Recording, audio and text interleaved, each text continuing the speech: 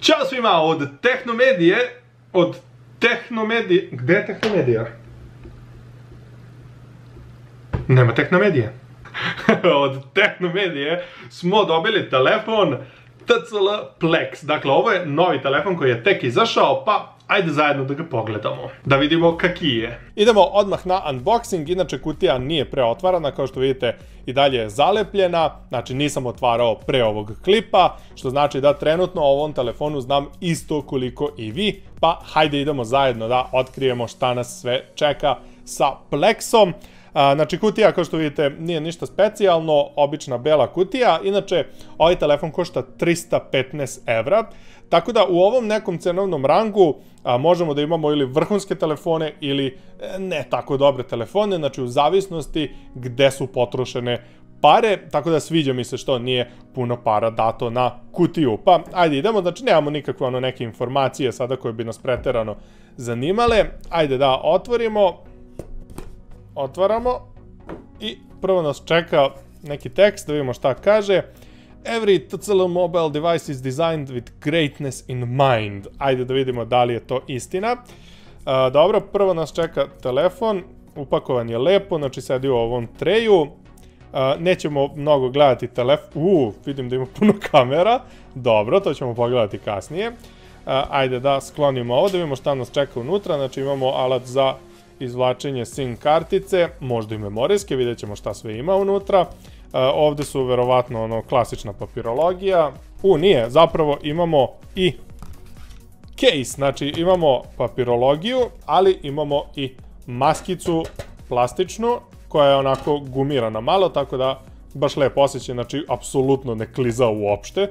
A, uh, ajde vidimo dalje šta nas čeka, znači ovde imamo USB kabel, da vidimo da li je C, gde je drugi kraj, evo ga, jeste, C je, super, i ovde imamo punjač, Tako da to je to što se tiče unboxinga, znači eto imamo sve što nam treba, jedino nam fale u suštini slušalice, ali zato dobijamo ovu lepu maskicu. Ajde sad da vidimo sam telefon. Poprilično je velik i to mi deluje da je ekran, znači ide poprilično do ivica, tako da je veći deo ekrana, ali to ćemo vidjeti kad budemo upalili.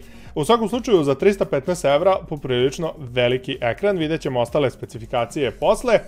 Ali kada ga okrenemo, kao prvo izgleda jako lepo, vidite kako prelama svetlost. I još plus imamo tri kamere iza i imamo čitač otiska, takođe imamo dva blica, to je zanimljivo da vidimo kako će to raditi, znači da li se pale oba ili šta, znači dole imamo USB, imamo zvučnik mikrofon verovatno, desno imamo kontrole, levo imamo opet neko dugme, zašto imamo još jedno dugme, moramo i to da saznamo čemu služi.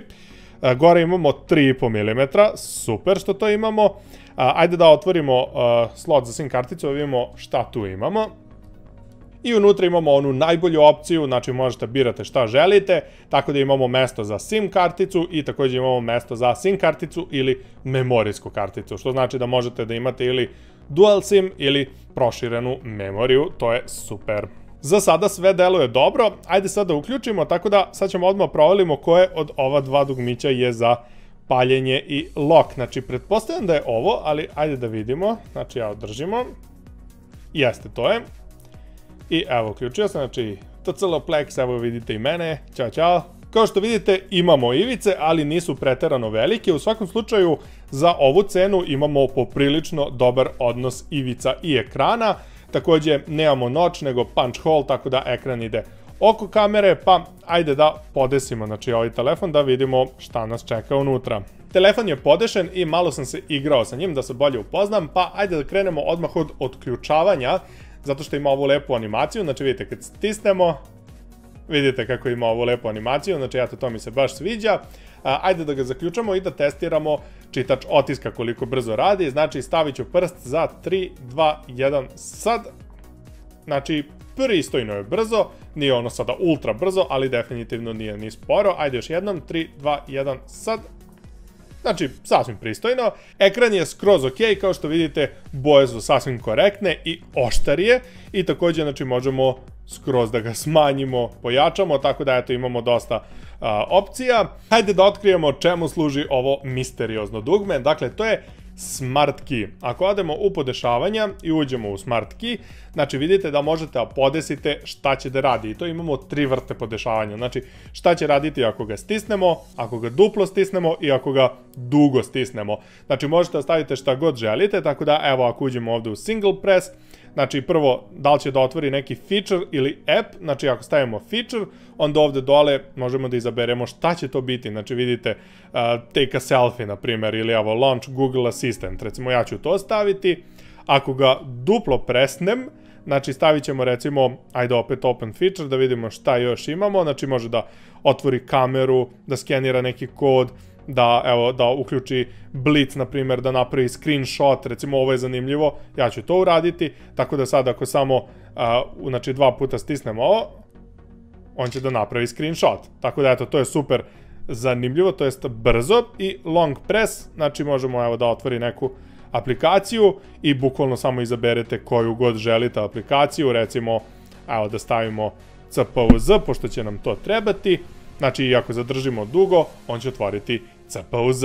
Android nije stok, znači imamo launcher, ali je dobro, znači lepo sasvim izgleda, kao što vidite sve lepo radi kada spustimo, znači kada podignemo imamo sve aplikacije, znači desno imamo ono klasično i levo imamo eto tu neke dodatne stvari, recimo da otvorimo neke aplikacije ili recimo koliko imamo memorije, a, ovde imamo recimo ovaj NXT Vision, da nam malo poboljša slike i video koje gledamo, tako da vidite kako otprilike izgleda originalna slika, Ako ovo uključimo, onda vidite malo imamo veći dinamički opseg, znači ono jednostavno generalno sve poboljšava i takođe možete da podešavate i ton. Takođe jedna zanimljiva stvar je što imamo ada, adaptivni ton, znači ono da on sam gleda kakva je situacija i onda da ono podešava da li će biti plavlje ili žuće. To recimo nisam video pre na telefonu, tako da to je jako super stvar. Što se tiče specifikacija, znači podesili smo CPUZ ovde, ali imamo i u samom samim podešavanjima lepo to podešeno, ako odemo u sistem i ako odemo na About Phone, znači vidite kako imamo lepo ovde sve napisano, tako da imamo Snapdragon 675, što je ono u suštini za ovu cenu ok, rezolucija je 1080 puta 2340, 6 GB RAM, 128 GB memorije, 3820 mAh baterija, tako da specifikacije su skroz. Okay ali ajde svejedno dođemo da u CPUZ, znači ako zadržimo ovo dugme, evo ga u CPUZ smo, tako da evo Snapdragon 675, ajde vidimo ostalo, a, veličina ekrana je 6,67 inča, znači ovo je poprilično veliki ekran za ove pare, imamo dostupno 106 GB mesta i ono sve ostale specifikacije, znači samo potvrđuje, izašla nam je reklama, tako da ono, ne možemo zaista ništa da se žalimo. Performanse su kao što možete i da očekujete od ovog procesora, znači ove manje zahtevne i dobro optimizovane će raditi odlično, znači tipa, evo kao što je ovaj Archero, Brawl Stars, znači takve igrice će raditi super, e sad ono već ovaj PUBG ili Call of Duty, znači to će vjerojatno morati malo da se smanji, ali bez obzira će raditi, tako da eto čak i za eto jeftini gaming ovo je skroz ok opcija. Ajde da pustimo čuvenu pesmu da vidimo kakav je zvučnik.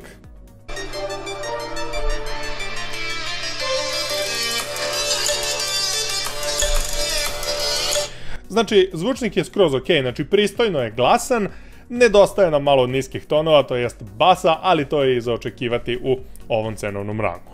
Dođo smo i do kamera, znači napred imamo ovu jednu punch hole kameru i iza imamo ovu običnu kameru, telefoto kameru i ultra wide kameru. Znači ovo zaista nisam nikako očekivao u ovom cenovnom rangu, tako da eto to me prijatno iznenadilo. Kada uđemo u aplikaciju, znači vrlo je jednostavno, znači ono jednostavno ovde imate razne modove, možete i da svajpujete da uđete u razne modove.